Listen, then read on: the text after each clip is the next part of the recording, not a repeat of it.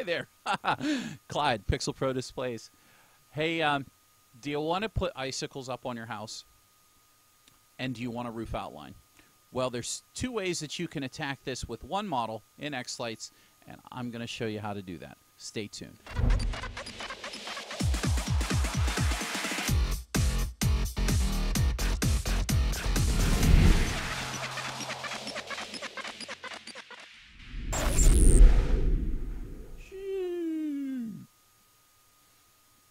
Hi, folks. Clyde Lindsay here. Welcome back to the PPD YouTube channel. Hope you folks are enjoying the content we put out. Make sure you hit the uh, like uh, down below if you like the videos. Hit the bell for notifications. Don't forget to subscribe.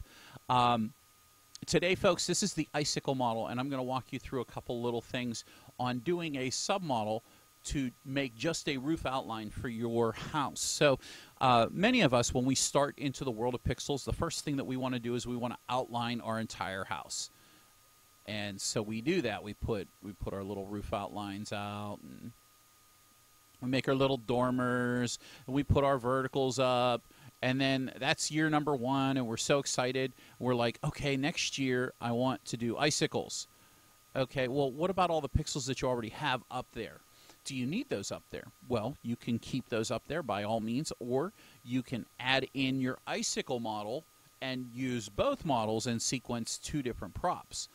Ah, but what if you're getting started and you don't have roof outlines, you don't have any of this up here whatsoever, all gone, and you just want to use your pixel icicles and make the first row of your pixels, all of those, your roof gutter outline. You can do that. So this is what we'll do.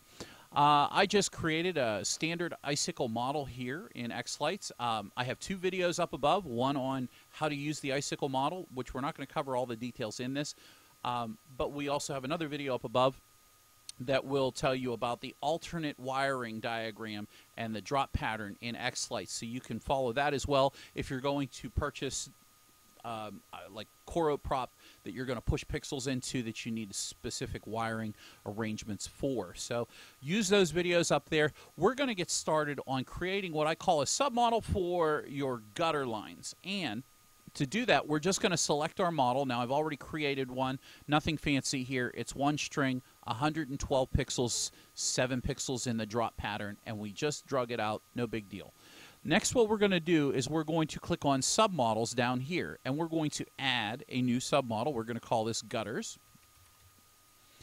and then hit the tab button, and then now we're going to select it, and we're going to double click on this uh, bottom here, and this is going to open up our submodel submodel page.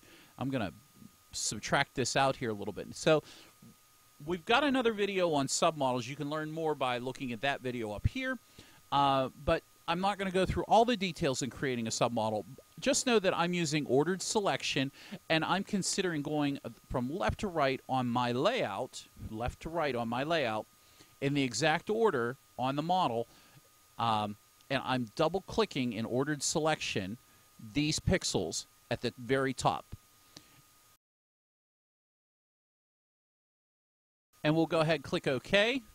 There we are. It looks like xLights is showing us that the very top row, the very top row here, of our submodel of icicles is in fact part of the icicle model now. So we click OK. That saves the change. Don't click cancel there. That will erase it. And now, when we click down here on this little arrow, we see that we can uh, clearly see that there are uh, the highlighted. Let, let's let's let's show you string appearance here. Let's make those pixels a little bit bigger. I'll change them to six. See how they're nice and bold now. Um, now, if we click on those, you can clearly see the top line there is highlighted yellow. That means that we can sequence just on the submodel gutters level.